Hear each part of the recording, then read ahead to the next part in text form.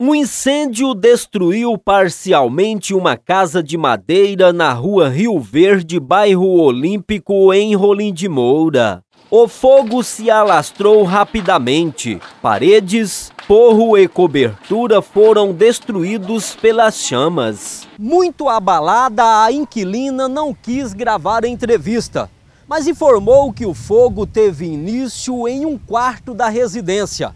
Mas como as chamas já estavam muito altas, ela acionou o corpo de bombeiros, que compareceu ao local e conseguiu conter o fogo. Tivemos é, solicitação através do, do 193 e de imediato a guarnição deslocou até o local.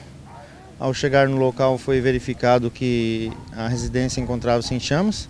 De imediato com, começou o combate, obtendo êxito. Antes do corpo de bombeiros chegar ao local do incêndio, Vizinhos ainda retiraram alguns pertences de dentro da residência. Porém, roupas, documentos e móveis foram queimados. A casa em que mora a família é alugada. A causa do incêndio ainda é desconhecida.